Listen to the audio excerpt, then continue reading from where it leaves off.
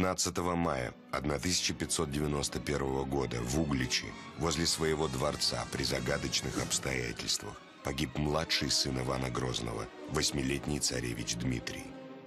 По одной из версий он был зарезан специально подосланными убийцами, по другой – сам нанес себе смертельную рану ножом в припадке подучей. Родившийся в седьмом браке Ивана Грозного, царевич Дмитрий действительно страдал от приступов эпилепсии. Но в глазах народа он был последним законным наследником династии Рюриковичей. Его гибель восприняли как зловещее предзнаменование. Это событие, конечно, имело какое-то глубокое и роковое значение. Был взведен курок. Ружье потом выстрелило. Оно могло выстрелить, могло не выстрелить, но курок был взведен. То есть создана была некая точка напряженности, которая впоследствии и разразилась всей огромной трагедией смуты.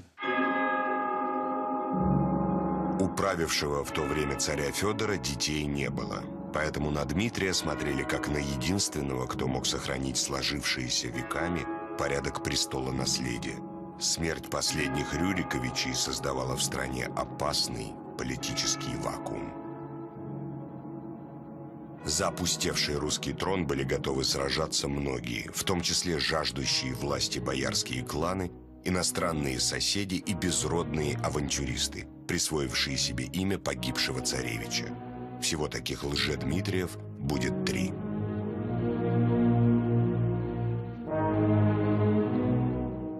В 1606 году мощи царевича Дмитрия были торжественно перевезены из Углича в Москву и захоронены в Архангельском соборе Кремля. Сделано это было для того, чтобы навсегда развеять слухи о его чудесном спасении. Но все усилия властей оказались напрасны. Череда ужасных бедствий, потрясших Россию после пресечения династии Рюриковичей, поставит наш народ и государство на край гибели. В русской истории эти времена назовут смутой и лихолетием.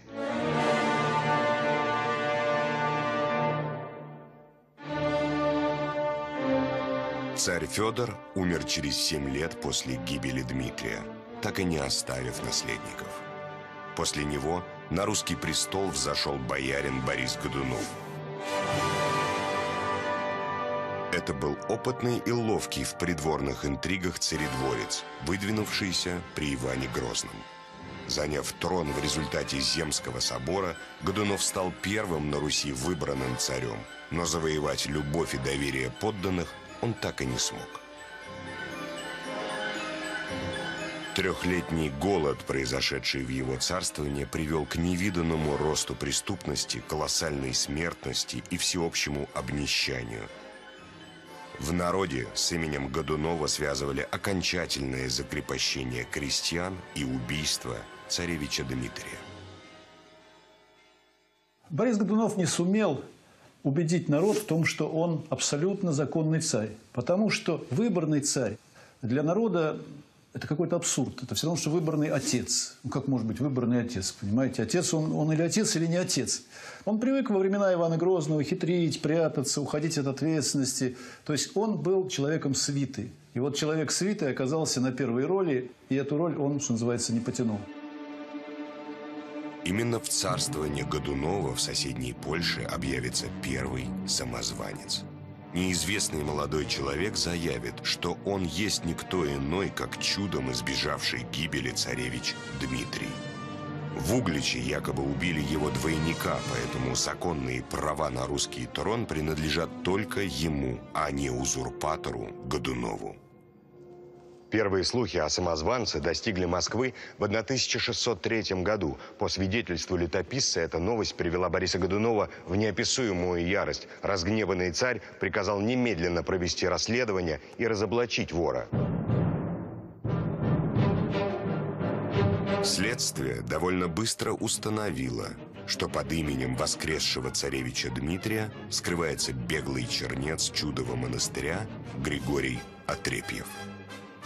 В официальном жизнеописании, составленном по приказу Годунова, самозванец именовался злодеем, бражником, еретиком и чернокнижником. Совсем иначе отзывались о Лжедмитрии знавшие его иностранцы. По их описаниям это был молодой человек среднего роста, смуглый лицом, с большим толстым носом, на котором красовалась синяя бородавка. Его красноречие и личная храбрость буквально гипнотизировали людей. Самозванец любил медвежью охоту и верховую езду. Став царем, не брезговал сам принимать челобитчиков два раза в неделю – в нем также блистала некоторая величественность, которой нельзя выразить словами, писал служивший у Дмитрия капитан Жак Маржерет. В польской историографии фигура Дмитрия Самозванца окружена симпатией. Его считают ловким политическим игроком, который умел выстраивать и разыгрывать разные политические комбинации. Он умел учиться и наблюдать, а потом воплощать в жизнь свои задумки.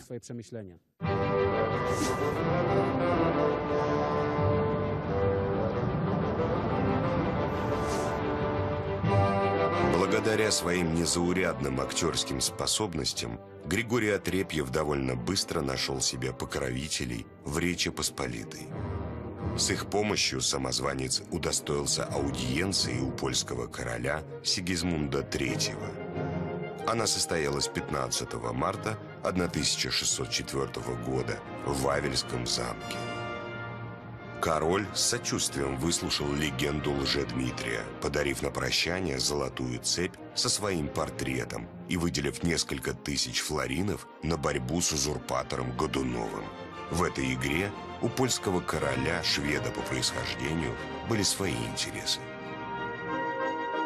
Зигизмунд III – это венчанный государь Швеции и Польши. Чего он хотел, когда вставал войной на Россию? Здесь его семейный, династический интерес.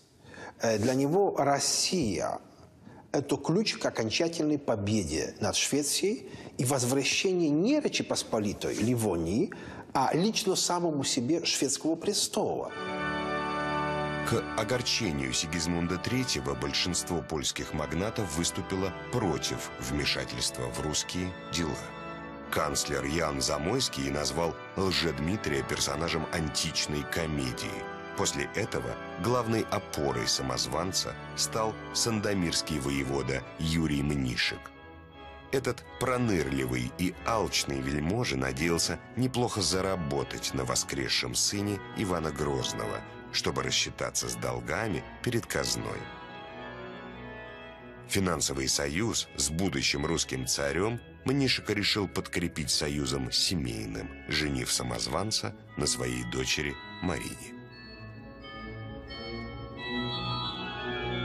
16 мая 1604 года Лжедмитрий заключил секретный договор с Юрием Мнишиком. По нему он обязан был выплатить своему тестю после вступления на русский престол миллион польских монет. Марии Мнишек также полагались всевозможные драгоценности – бархат и столовое серебро из московской казны. Города Великий Новгород и Псков со всеми людьми и уездами объявлялись ее наследственной вотчиной, где она могла беспрепятственно строить католические костелы, школы и монастыри.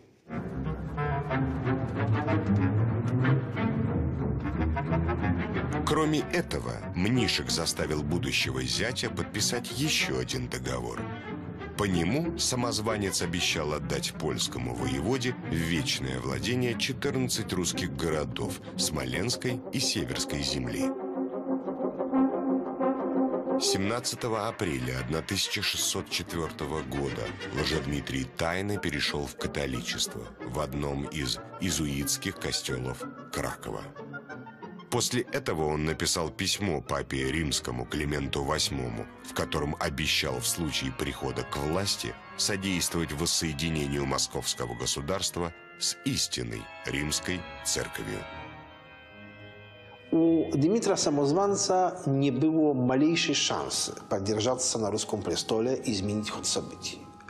Он изначально был обречен, и, между нами говоря, я подозреваю, что большая часть польской элиты – которые обещали большие доходы, если они поддержат, и которые не против были бы заработать на этом. Именно по той причине его не поддержали, поскольку прекрасно понимали э, все львы Сапеги и Кшиштофа Радивилы, что дело безнадежное. Осенью 1604 года Лжедмитрий во главе трех тысяч воинов двинулся на Чернигов. Борис Годунов выслал навстречу ему войска, которые почти уничтожили армию самозванца. Но массовый переход городов и населения на сторону воскресшего царевича Дмитрия предрешил исход начавшейся борьбы. Народ и бояре отвернулись от царя Бориса, который скоропостижно скончался в апреле 1605 года. Народ ожидал законного царя, и, собственно говоря, он поверил, что Дмитрий законный царь, вот тот царь, который должен быть после Ивана Грозного, после Федора. Что касается элиты, то элита, конечно, смотрела на эти вещи гораздо более цинично. Она рассчитывала использовать э, самозванца как инструмент для свержения Годунова как инструмент для того, чтобы свалить Годунова и впоследствии взойти на трон или Шуйским, или еще кому-то, то есть кому-то из представителей высшей московской знати. 20 июня 1605 года Лжедмитрий под колокольный звон триумфально вступил в Москву. Но царствовать ему пришлось недолго. Всего через 11 месяцев он будет свергнут в результате кровавого переворота. Произойдет это почти сразу после его шумной и помпезной свадьбы с Мариной Мнишек. Венчание Лжедмитрия и Марины Мнишек состоялось в Успенском соборе Московского Кремля 8 мая 1606 года. Здесь, в присутствии бояр и народа, патриарх Игнатий возложил на дочь польского воеводы царскую корону, крест и золотую мономахову цепь. В конце церемонии произошел инцидент, который вызвал ропот среди духовенства и собравшихся москвичей. Супруги отказались от второго мира помазания, что означало бы для Марины Мнишек переход в православие. Этот отказ стоил уже Дмитрию жизни, а его жене – русского трона. Явное нежелание Марины Мнишек принимать православие и соблюдать русские обычаи только подлило масло в тлеющий огонь всеобщего недовольства. Особенно раздражало народ поведение польских гостей, наводнивших столицу. Они заходили в православные храмы, не снимая шапок, гремя оружием и громко ругаясь над русской службой. По ночам ляхи шумно бражничали, после чего избивали прохожих и насильничали. Среди изнасилованных оказалась даже боярская дочь.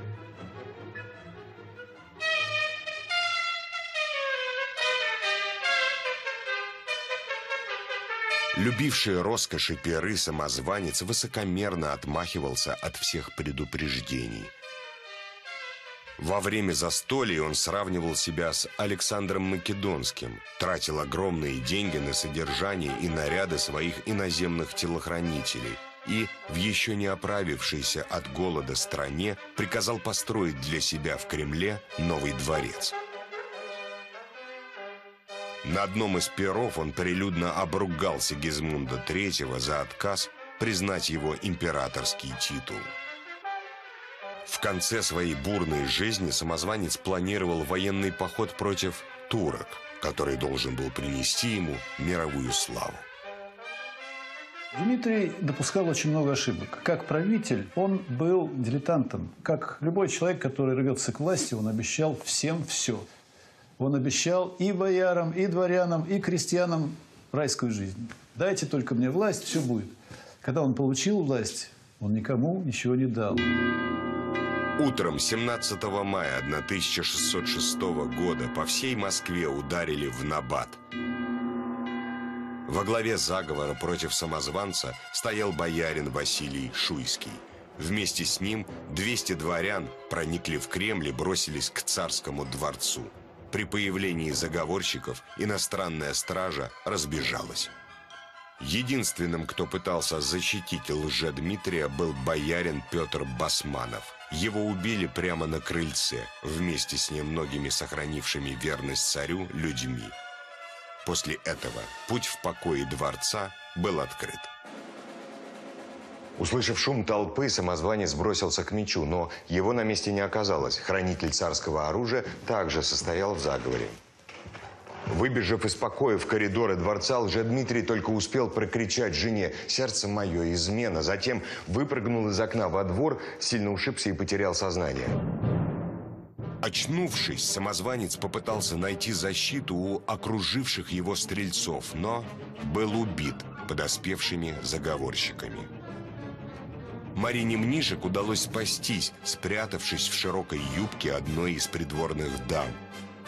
В тот же день в Москве убили около 500 поляков и литовцев.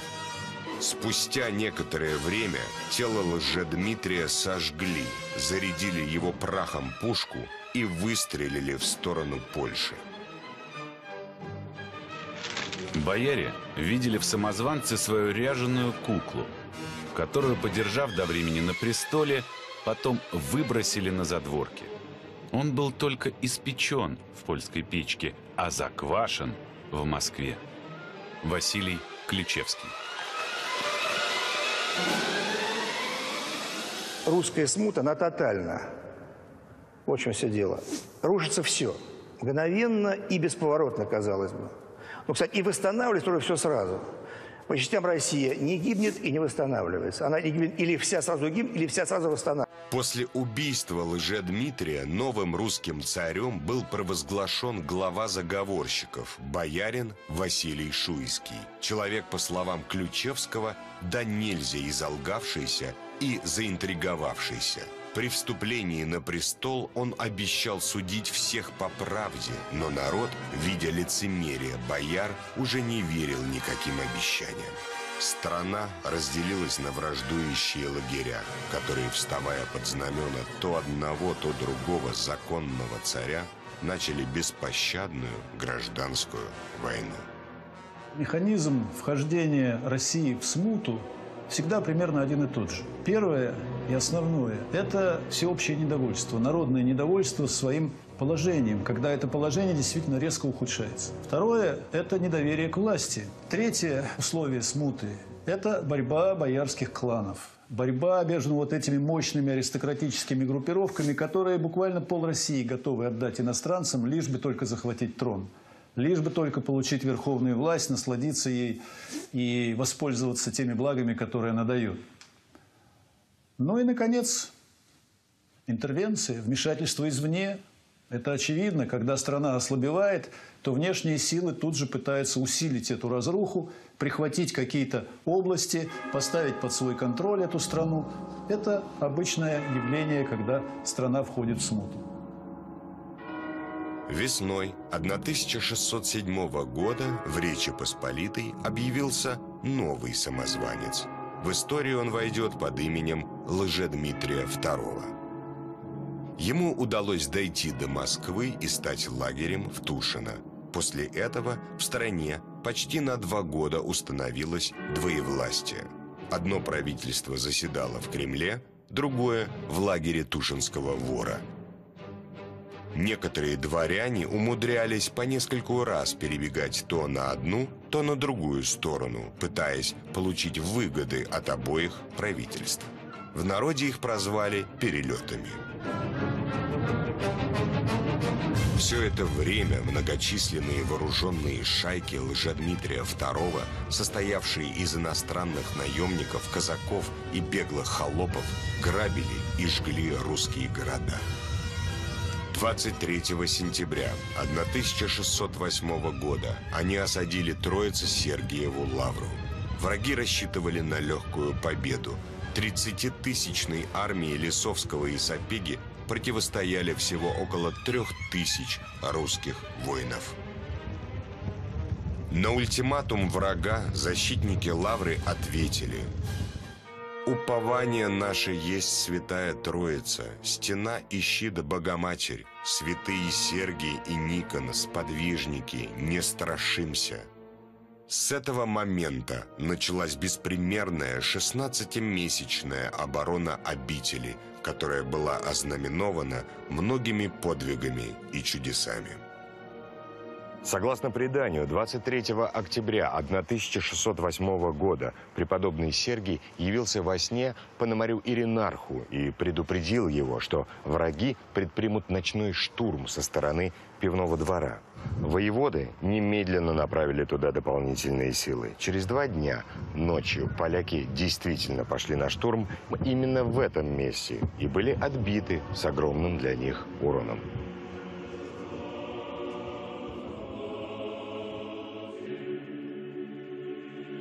Троицком соборе все защитники Лавры принесли присягу перед мощами преподобного Сергия Радонежского и целовали крест, чтобы сидеть в осаде без измены. Те, кто уходил на стены, исповедовались и причащались. Многие воины постриглись, желая умереть в монашеском чине.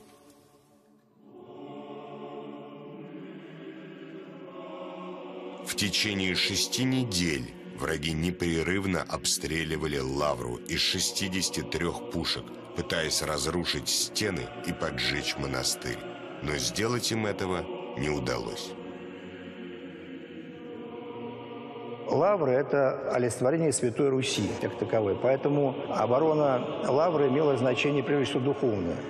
Потому что, собственно говоря, этот сброд интернациональный, который пришел под стены Лавры, это был сброд именно. Как любой смуте, в любой революции собирается сброд всегда. Они хотели именно, прежде всего, Святую Русь опрокинуть растоптать. И вот если бы им это удалось сделать, представьте на секунду такую невозможную вещь, какое бы уныние поселилось в сердцах наших соотечественников. Несмотря на свою малочисленность, защитники Лавры не только успешно отбивали все штурмы, но и сами не раз совершали дерзкие вылазки.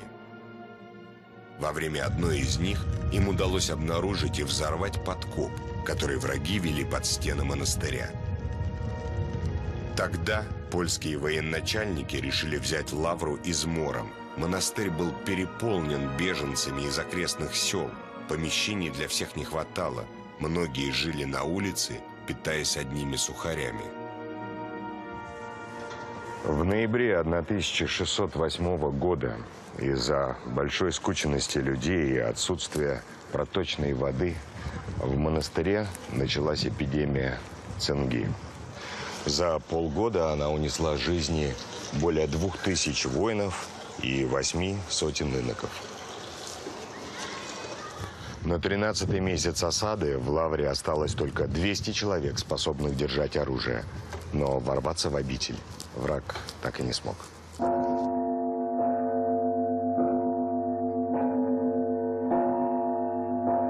Через 16 месяцев враги отступили от монастыря, признав свое поражение. В те же времена архимандрит Лаврий Дионисий и келарь Авраамий Палицын писали грамоты, призывавшие народ опомниться и спасти Отечество. Между тем, на охваченную гражданской войной Россию обрушивались все новые и новые бедствия – с юга в нее вторглись орды крымского хана, а в сентябре 1609 года польский король Сигизмунд III осадил Смоленск. Папа Римский прислал Сигизмунду освященный в Ватикане меч, благословляя крестовый поход против схизматиков. Так в Речи Посполитой называли православных верующих, считая их еретиками. В своем универсале польский король заявил, что пришел дать русским людям спокойствие и потребовал, чтобы население Смоленска встречало его хлебом с солью. В ответ жители города взялись за оружие и объявили, что лучше умрут, чем покоряться иноземным захватчикам. Сигизмунд был фанатично предан католицизму и образцом считал средневековую Испанию с ее инквизициями, со всеми безобразиями. А он не предусматривал для России никакой иной роли, кроме как вот подобие островов Вест-Индии, захваченные испанцами. Никаких уний, никаких вхождений в состав, ничего. Порабощение только.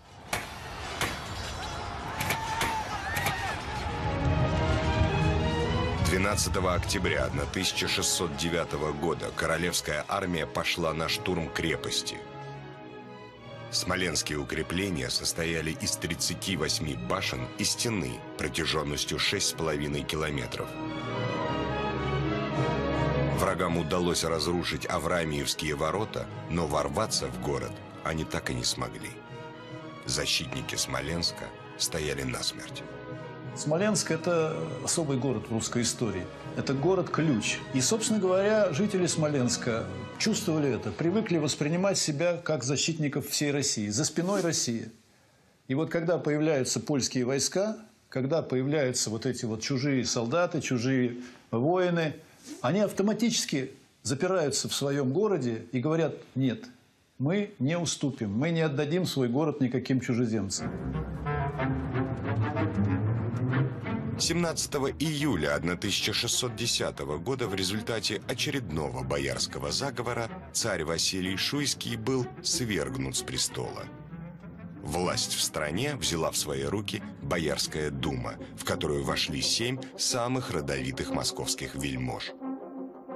В народе это временное правительство прозвали «семибоярщиной». Почти сразу между ее членами началась борьба за то, кто же станет новым русским царем. Кандидатуры Голицыных и Романовых были отвергнуты. Не сумев договориться между собой, члены семи боярщины решили призвать на русский трон польского королевича Владислава. С помощью этой интриги они рассчитывали сохранить свою власть, получить новые привилегии и навести порядок в стране с помощью иноземных войск. 16 августа 1610 года текст договора был доставлен Гетману Жалкевскому, а на следующий день бояре во главе с Федором Мстиславским принесли присягу новому царю Владиславу. После этого польские войска заняли московский Кремль, а Мстиславский был удостоен польским королем чина слуги и конюшева.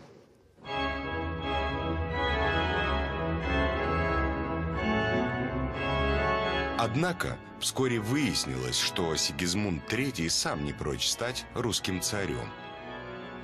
Он не отпустил своего сына в Россию и потребовал от московских послов немедленной сдачи Смоленска. Бояре послушно изготовили грамоту к осажденному гарнизону с требованием сложить оружие – только патриарх Гермоген категорически отказался ее подписывать, несмотря на то, что боярин Салтыков угрожал ему ножом. Русская правящая элита, прежде всего боярская аристократия, к началу XVII века переживала страшное разложение. Причиной, основной причиной историки считают а, полное моральное разложение в период правления Ивана Грозного. Превращение знатных аристократических родов в быдло.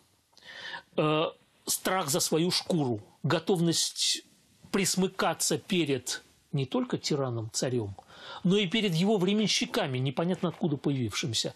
И вот в этой ситуации желание быстрее нахватать как можно больше всего и обезопасить себя, оно сработало, когда э, на русский престол номинально был наречен польский королевич. В 1611 году с севера в Россию вторглись шведские войска и захватили Великий Новгород. В то же лето, после 20-месячной героической обороны, пал Смоленск. 3 июня 1611 года поляки атаковали Смоленск одновременно с четырех сторон. В районе Кралашевской башни им удалось взорвать часть крепостной стены. К этому моменту в городе осталось не более четырех сотен здоровых людей, способных сражаться. Воевода Шейн с 15 воинами оборонялся до последнего в Коломенской башне, где был ранен и взят в плен. Последние защитники Смоленска взорвали себя вместе с пороховыми складами, находившимися в цитадели.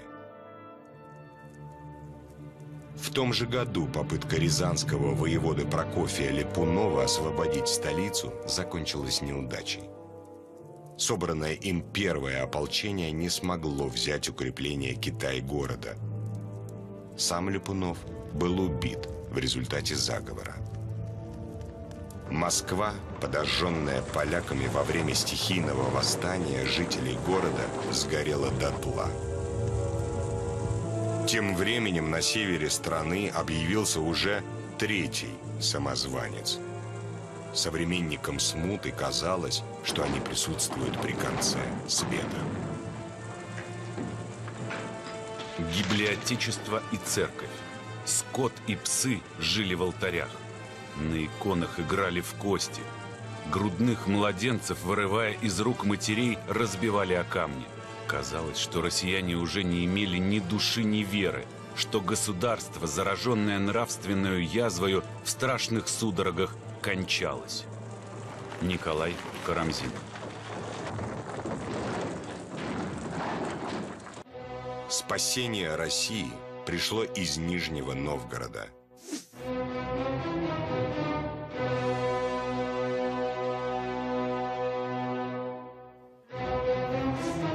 Именно здесь появился человек, который стал душою и сердцем освободительного движения. Звали его Кузьма Минин. Одна из причин, почему Нижний стал центром сопротивления, это богатый торгово-купеческий город. Посад, понимавший свои интересы. Посад, который был многочисленен, достаточно состоятельным и очень не хотел лечь под интервентов. Люди сознательные и понимавшие, чем им это грозит.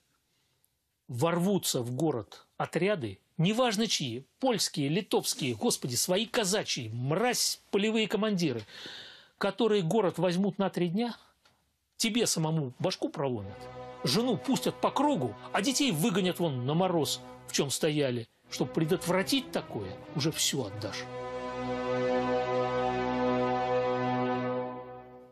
Согласно преданию, в сентябре 1611 года Кузьма Минин обратился к нижегородцам со знаменитой речью. Если мы хотим помочь московскому государству, то не будем жалеть своего имущества. Не то что животы, но дворы свои продадим, жен и детей заложим. Историки до сих пор спорят о том, где, когда и как произносил Минин свои исторические слова. Было ли это в Земской избе или на площади, которую художник Маковский изобразил на своей знаменитой картине. Сегодня это уже не имеет большого значения.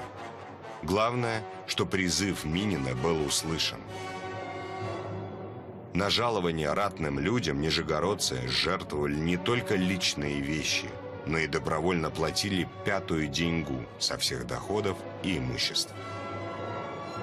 Что касается пресловутой фразы «жен наших детей заложим», речь шла, конечно, немножко о другом. Речь шла о закладе имущества и о том, что ручаются семейным достоянием за то, что деньги будут выплачены. Но я обращаю внимание на очень важный момент. Это был займ.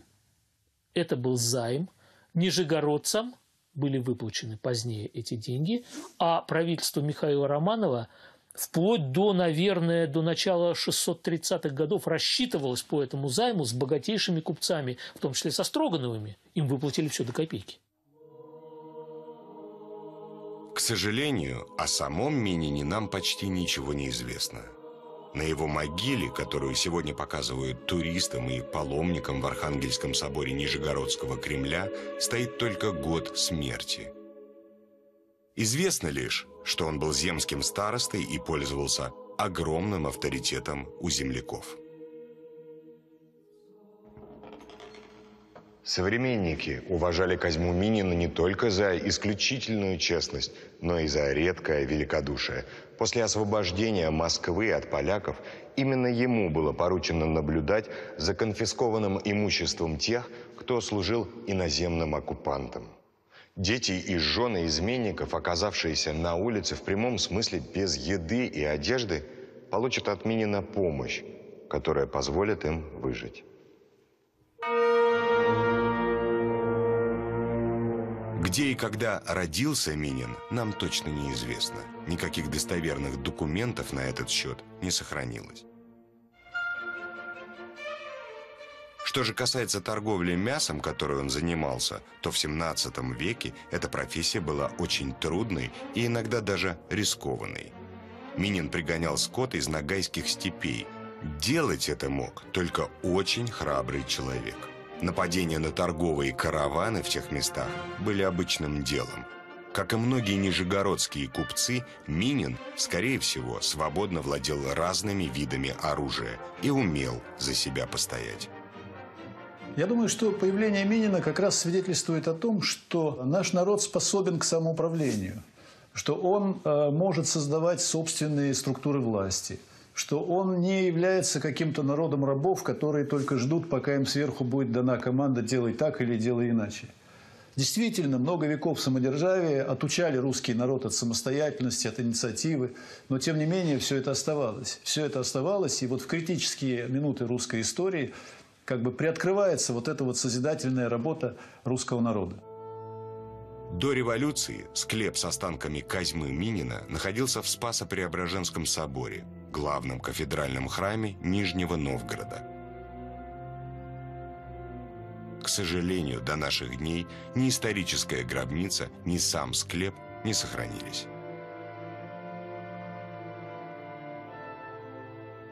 Осенью 1929 года стоявший на этом месте Спасо-Преображенский храм был уничтожен. Его разрушили, чтобы освободить площадку для строительства Дома Советов, серого типового здания в духе конструктивизма. Вместе с храмом была разрушена и гробница Козьмы Минина. Сохранился акт о вскрытии Мининского склепа, составленный комиссией во главе с историком-архивистом Иваном Вишневским. Этот акт – единственный официальный документ о судьбе останков Минина, которым мы сегодня располагаем – в нем утверждается, что в склепе были найдены лишь несколько костей взрослого человека вперемешку с костями неизвестного ребенка. Это дало повод Ивану Вишневскому заявить, что подлинные останки Минина были обнаружены им в снесенной Скорбящинской церкви. Но эту версию архивиста никто не поддержал.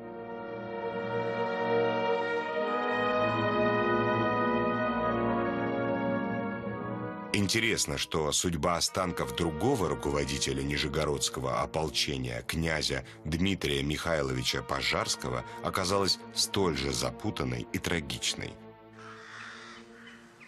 Его родовая усыпальница находилась в Суздале, на территории Спаса Ефимьевского монастыря. Часовню-усыпальницу князя Пожарского в Спасо-Ефимьевском монастыре – разрушили в 1933 году. Карарский мрамор, из которого она была сделана, отправили в Москву. Там его предполагалось использовать для отделки Дома Советов. Место самой могилы Пожарского было утрачено.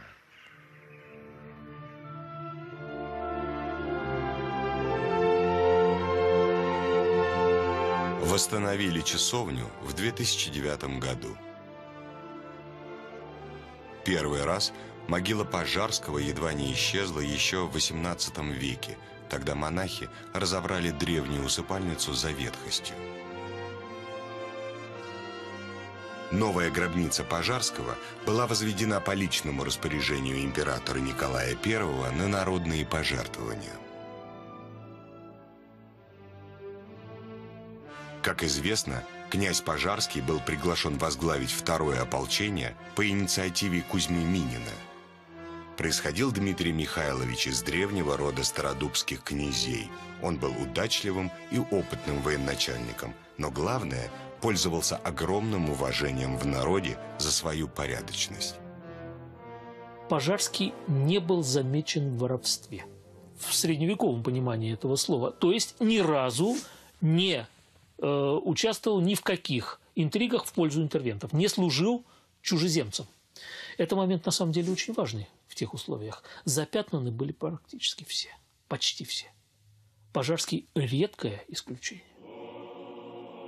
Перед походом на Москву Дмитрий Михайлович Пожарский специально заехал в Спасо-Ефимьевский монастырь, чтобы поклониться родительским гробам. Сам князь и его семья постоянно жертвовали монастырю богатые дары. Многие из них до 1917 года хранились в его надгробной часовне. После революции на территории Спаса Ефимьевского монастыря располагались воинские части и концлагерь. Во время Великой Отечественной войны здесь содержали немецких военнопленных, в том числе захваченного в Сталинграде фельдмаршала Паулюса.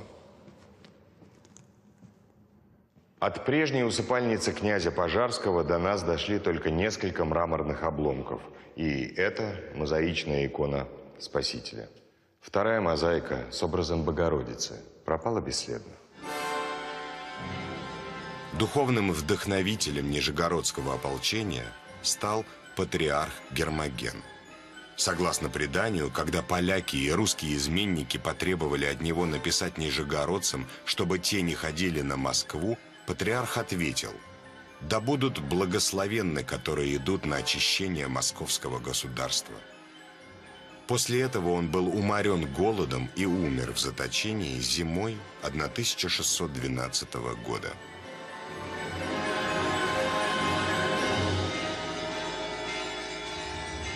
Главные силы Нижегородского ополчения выступили в поход 23 февраля 1612 года.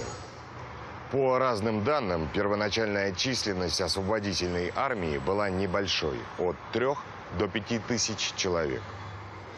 Пройдя эту площадь, ополченцы спустились к Волге и направились не в Москву, а на Ярославль.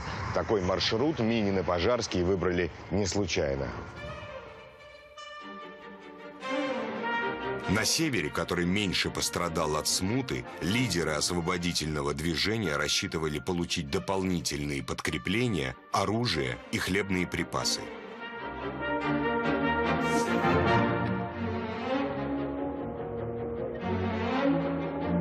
В ополчение принимали всех, кто хотел помочь гибнущему Отечеству. К добровольцам из русских городов присоединились отряды мордвы, башкир и касимовских татар.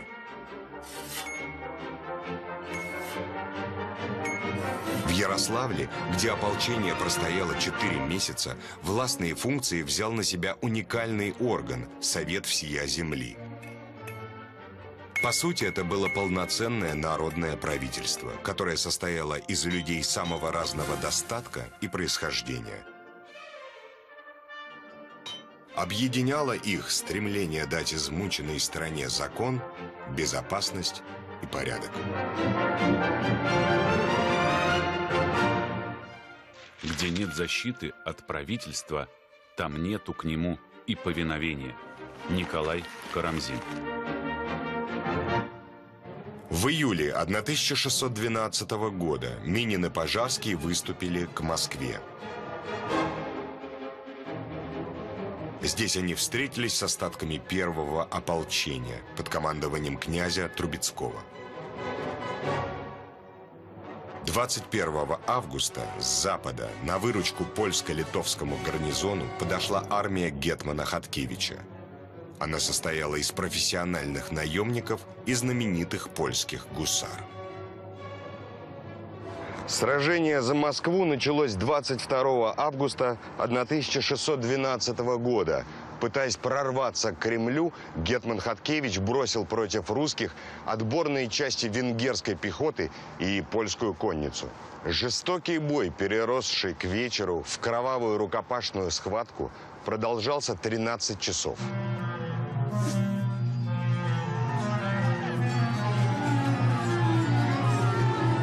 В разгар сражения польский гарнизон совершил вылазку из Кремля, ударив в тыл русскому ополчению.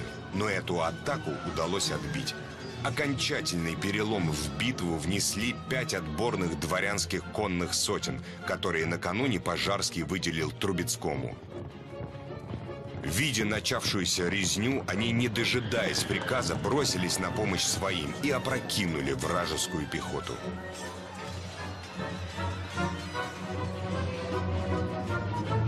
Во время битвы за Москву Хаткевич явно недооценил противника. Его армия была отлично подготовлена к сражениям в открытом поле, а здесь пришлось столкнуться с соперником, который использовал тактику уличного боя. Сражаться приходилось в тесных улицах возле Кремля, поэтому так все и закончилось. Вторую попытку прорваться в Кремль Хаткевич предпринял через два дня. Его войскам удалось захватить часть Замоскворечья и потеснить русских. В этом сражении обе стороны проявили невиданное упорство. Некоторые позиции по несколько раз переходили из рук в руки. Во время одной из схваток Пожарский был ранен. К исходу дня Хаткевичу удалось приблизиться к Кремлю, но его войска, понеся огромные потери, буквально ввалились с ног от усталости. 24 августа Козьма Минин пришел в шатер князя Пожарского и предложил ему нанести удар по обессилевшему противнику. «Бери кого хочешь», — ответил раненый Пожарский. Взяв три лучшие дворянские сотни и отряд ротмистра Хмелевского, Минин сам повел воинов в атаку. Этот внезапный удар решил исход битвы за Москву.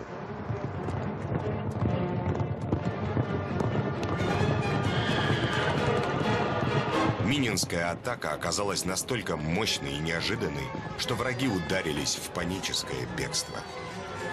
Я не знаю, как это произошло, но какие-то слова замечательный переговорщик и знаток человеческих душ Кузьма Минин все-таки нашел.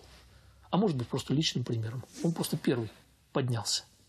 В этот момент психология служивого человека. Мужик торговый идет в атаку, а мы сидим. Они поднялись следом за ним в последний решительный бой. Они легли там почти все. Эта конная атака переломила исход сражений Хаткевичества. Однако до полного преодоления смуты было еще далеко. Отряды Трубецкого снабжались значительно хуже, чем войска Минина и Пожарского, поэтому казаки начали нападать на обозы второго ополчения и требовать немедленной уплаты жалования. Бывшие тушинцы даже предлагали убить князя Пожарского. Единство земской рати оказалось под угрозой. Чтобы предотвратить распад освободительной армии монахи Троицы Сергиевой Лавры предложили казакам Трубецкого в качестве заклада священные облачения и утварь из монастырской ризницы. Потрясенные казаки не посмели принять такой дар. Они отправили в Троицу двух атаманов с покаянным письмом, в котором заявили, что никакие скорби не заставят их отступить от столицы.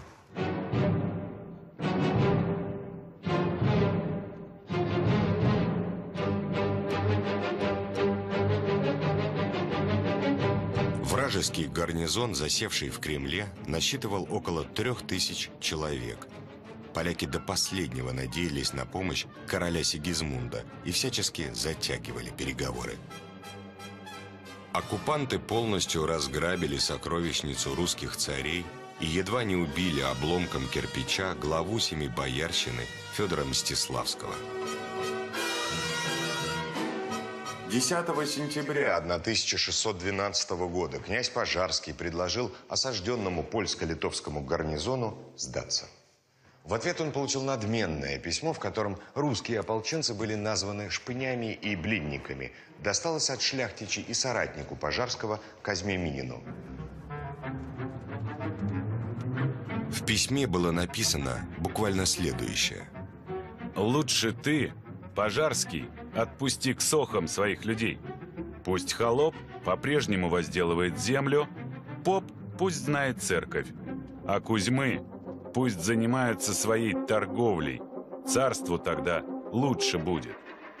Стараясь всячески подчеркнуть в письме свое презрение к ополченцам, гордые шляхтичи в это же время в прямом смысле ели друг друга. Сначала наемники убили и съели всех пленных, а потом стали есть своих однополчан. Половина человеческой ноги стоила в Кремле два злотых.